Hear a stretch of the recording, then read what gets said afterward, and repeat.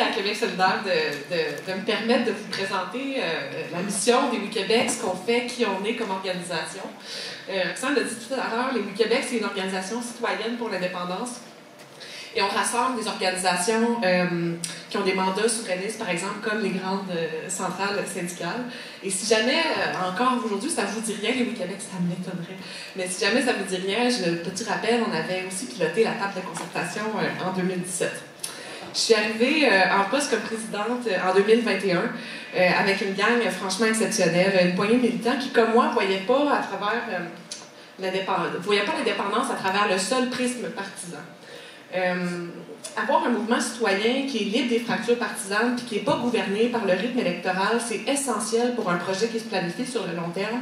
Et aujourd'hui, j'aimerais ça vous parler de l'importance d'un mouvement citoyen pour l'indépendance qui est puissant, qui est organisé, puis de la nécessité d'attaquer le problème de notre division, mais avec un angle qui va nettement au-delà de, des simples fractures partisanes. Ça, c'est un petit bout, mais le, notre projet est beaucoup plus large hein, que l'aspect partisan tous les grands mouvements sociaux ont besoin de trouver leurs racines dans la société civile il faut qu'on se libère des fractures partisanes et des calculs qui sont parfois nécessaires pour respecter l'échéancier électoral. Et comprenez-moi bien, je, pense que l'action citoyenne pour l'indépendance, elle doit se faire en partenariat avec celle des formations politiques. Les élus indépendantistes, c'est nos alliés au Québec. Mais de la même façon que le mouvement environnementaliste existe indépendamment, heureusement, du Parti vert du Québec, le, mouvement souverainiste du Canada de ce temps-là, c'est pas vraiment mieux. Mais. Euh,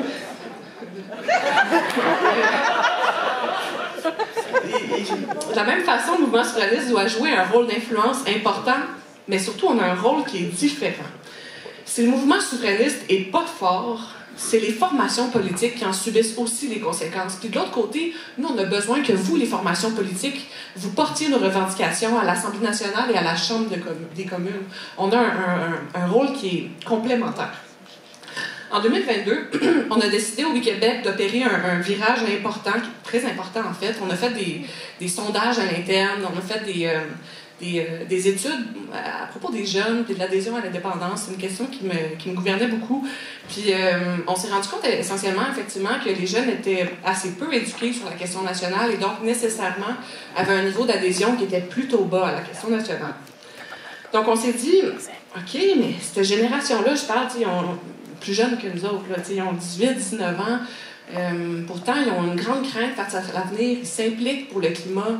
Euh, ils pensent que ça prend une révolution euh, économique, une révolution environnementale. T'sais, il me semble que le projet de souveraineté, c'est exactement ça qu'on a leur offrir. Fait qu'on s'est dit, il faut qu'on revoie nos pratiques. puis on a décidé d'abandonner certains types d'événements, certains types de façon de faire hein, qui faisait en sorte qu'on avait souvent, en se parlant de nous, là, essentiellement, euh, on amenait souvent les mêmes personnes dans nos événements. Euh, donc, le résultat, en changeant nos pratiques, en 2022 seulement, euh, on a en tiré environ 1200 personnes jeunes de 25 ans et moins, dont au moins la moitié dans les événements étaient à leur premier événement politique ou leur premier événement souverainiste.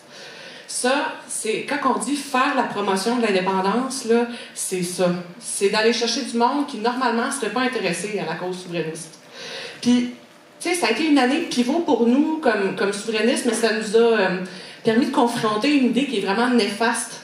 Euh, qu'on s'impose souvent soi-même comme souverainiste, c'est-à-dire que l'indépendance, c'est pas sexy, tu sais. Alors qu'au contraire, le projet souverainiste, ça fait rêver, ça traverse les générations, mais à condition qu'on décide de le prioriser puis de le mettre l'avant.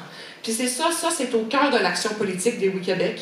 C'est notre mission. Notre mission, je le rappelle, c'est de faire la promotion de l'indépendance, puis de réunir tous les indépendantistes de tous les horizons, peu importe leurs allégeances partisanes.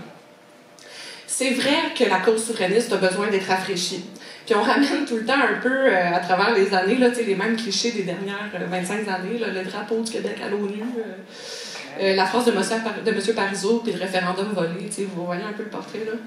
Ben, il est temps que le mouvement souverainiste, via l'action citoyenne, se dote de nouveaux référents, d'un discours qui explique aujourd'hui, en 2023, pourquoi l'indépendance est le projet qui va nous permettre l'épanouissement du Québec.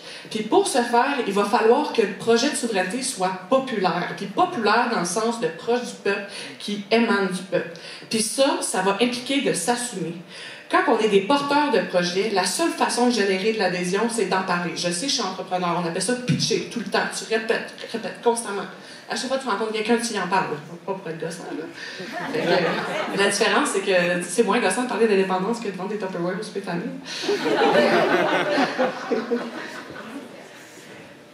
Puis à cet effet-là, on a l'impression que tout a déjà été fait par le passé, mais dans les faits, tout est à faire. On s'est rendu compte que le seul argumentaire souverainiste en ligne qui existait, c'était le livre qui fait dire oui en PDF, sur ton téléphone, tu sais, en format euh, 8 points. Là. Fait qu'il y a un travail, tout est à refaire complètement, c'est incroyable. Fait à notre Assemblée générale du 28 janvier 2023, on a décidé de mettre en place des grands chantiers qui sont nécessaires hein, pour ce soulèvement du mouvement souverainiste qu'on souhaite. Donc, d'une part, s'attaquer aussi à l'appauvrissement intellectuel autour de la question nationale parce que ça fait tellement d'années qu'on n'y a pas réfléchi, comme on n'en discute pas, il y a moins d'idées qui autour de la question nationale. Et ça nous permet de renouveler aussi cet argumentaire-là autour de l'indépendance. Évidemment, de le mettre en ligne d'une façon qui est, digeste, euh, parce qu'on est là. Euh, poursuivre notre travail essentiel pour euh, euh le renouvellement de nos pratiques via la, tournée Renouveau. Pour ceux qui ont vu nos, événements, là, on, a beaucoup tablé autour de d'aller chercher, en fait, de faire des événements qui sortaient un peu de champ gauche avec des artistes de la relève. Euh, D'ailleurs, on refait Saint-Jean cet été au Parc Laurier. on a été 600 l'année passée, on va être 1000 cette année. Euh, Rouba, t'es averti. c'est le 24 janvier. Euh, juin. On en fait deux par année. et de prioriser la mise sur pied des comités environnement euh, et réconciliation, parce que, évidemment, dans la cause souverainiste, euh, la question du climat euh, et de nos relations avec les Autochtones, c'est essentiel qu'elle soit abordée. donc, voilà. Mais on a une multitude de grands projets pour les Québec. J'ai envie de terminer sur quelque chose qui semble tellement simple, mais qui est très important. Puis, ce que je vous dis, ça s'adresse à l'ensemble des souverainistes il faut qu'on adopte une attitude de gagnant, puis qu'on commence sincèrement à croire qu'on est capable de gagner puis de réaliser l'indépendance. Tu sais, on n'écrit pas des programmes juste parce que ça fait beau. On les rédige parce qu'on veut réaliser nos propositions, puis parce que il faut que parce que nous-mêmes là, on est en amour avec les projets qu'on porte. Mais ça, il faut qu'on démontre cet amour-là envers le projet de pays, puis le projet de société qu'on soumet aux Québécois. On critique la CAQ de s'aplaventrir devant euh, Ottawa puis d'avoir aucune réponse à faire à Ottawa. Mais nous, c'est quoi la réponse qu'on a à faire à Ottawa?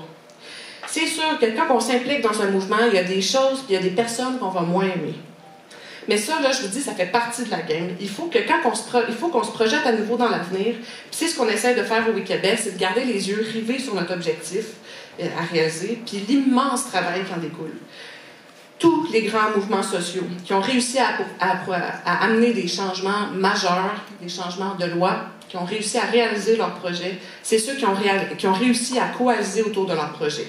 Puis le fait de vouloir réaliser l'indépendance fait qu'on doit être plus ambitieux, qu'on doit avoir plus grand, puis que tous les gestes qu'on pose, on le fasse avec le cœur au ventre. Et c'est ce, ce que permet l'action politique citoyenne et c'est ce que fait les Québec. Merci.